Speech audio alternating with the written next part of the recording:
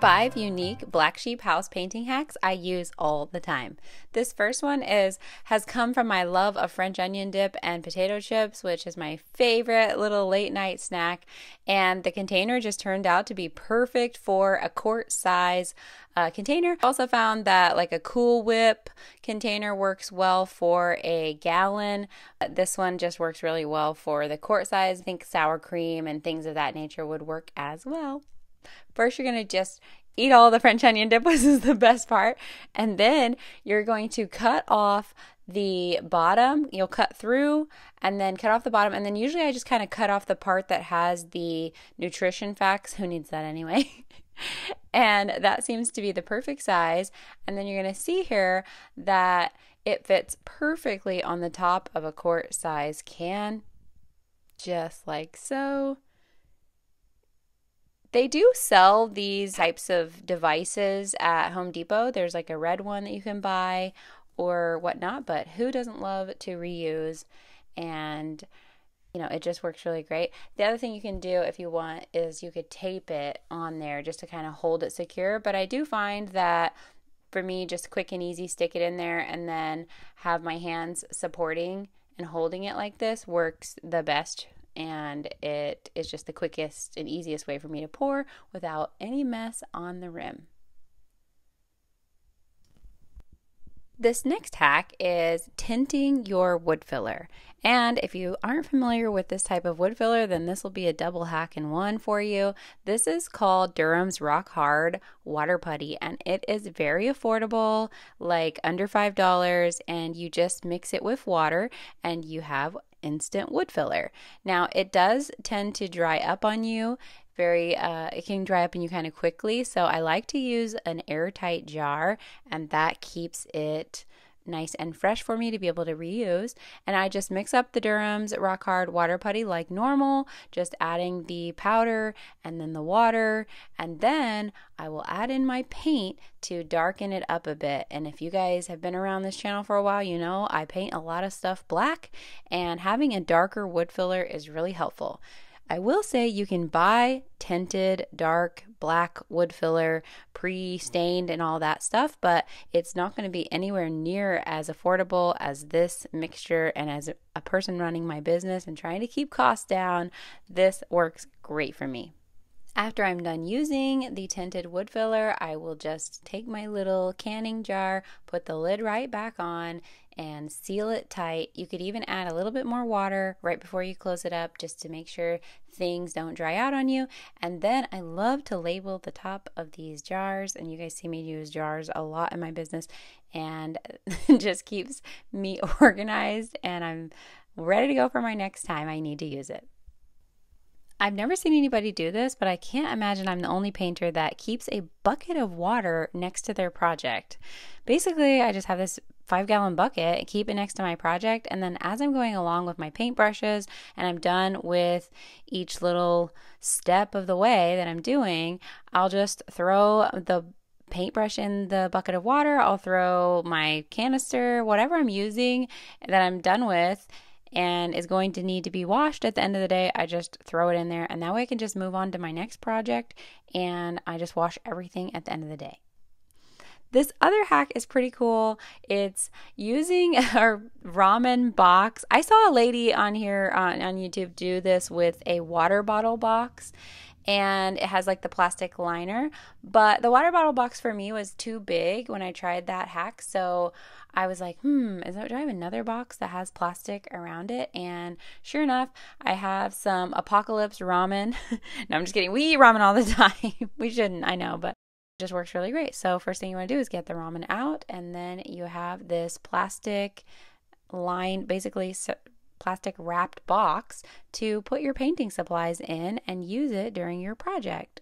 And it's just the perfect little size for me for one individual project.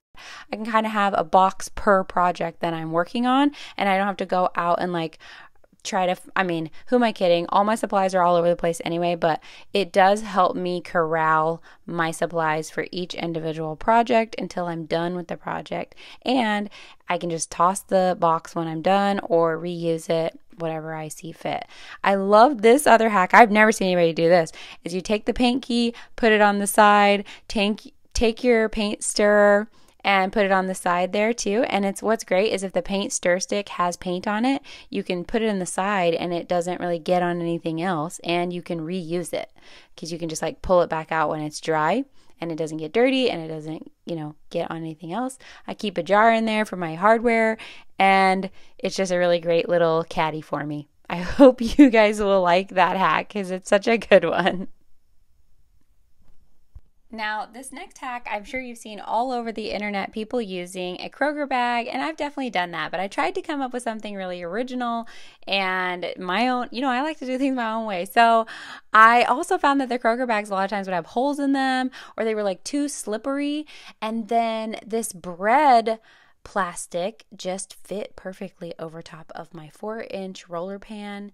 I haven't found the perfect six inch roller pan cover yet, but for four inches, man, there's nothing that's going to beat a bread bag. And who isn't going through bread like crazy? All you have to do is put it on with the writing on the outside. You know, you don't want the writing touching your paint, it'll come off and then toss it when you're done. We've all been there, spilled a little bit of paint on the concrete where we were working, and I like to use alcohol. It's quick and easy to grab, and I just squirt it on there, let it sit, and then I'll go in with my scrub brush. If I find at this point it's not really budging, then you can add some acetone, fingernail polish remover will do the trick for more dried on paint stains. But most times the alcohol does the trick and gets the stain um, out of my way and I just rinse it away with water afterwards. Rinsing is really key or using a washcloth to kind of dab and remove the paint as you loosen it up. You want to soak it up or rinse it away out of off the concrete. And before you know it, it'll be back to brand new. Now, let's say you didn't use my bucket trick and you accidentally left your brush out and it dried overnight and it's rock hard the next morning. You want to use some alcohol again. The 91% is the best. Um, and you just pour it in a little glass jar and about a centimeter deep. You know, it's not too much alcohol in there. And then just saturate your brush, you know, kind of do the best you can and some of them will be more difficult than others. Leave it overnight. This is the next morning. And so this thing has been in here like over 12 hours. And then I'll take it and wash it with just some dish soap or whatever soap I have on hand in the bathroom. And nine times out of 10, this really does the trick. Like I said earlier with the spilling paint on concrete, if it doesn't do the trick, you can use acetone, or if you get really desperate, you can use paint stripper. But I like to try alcohol first because it is the easiest to work with. And like I said, nine times out of 10, it does the trick for me. It's really great for artist paintbrushes as well. See? Like new. This next one, I won't even really call it a hack because I think so many people already use this, but it's called liquid sandpaper, if you don't know. And you can use this on your furniture pieces or any surface that you plan on painting, and it creates a chemical abrasion that is very similar to sanding, and it makes your paint adhere and stick that much better. So, this is a great tool to have. I will say that it is a little stinky, so you want to have a well ventilated space. You want to have gloves on and a mask when you're using this product, but it does work like a charm and it does really make the paint stick to your surface. Let me know if you guys want a part two because I have even more painting hacks since I paint all the time and I have done trial and error on pretty much everything. So let me know in the comments if you guys want a part two and I will get started on that. Thanks so much for all my loyal subscribers. You guys are so awesome and you really helped us get to where we are here on this channel, making me able to share this content and share information with the world. And I'm so grateful for that. Grateful for each and every one of you guys. If you like this kind of content, you want to make sure and subscribe if you're not not already. And I'll see you guys in the next video. Bye.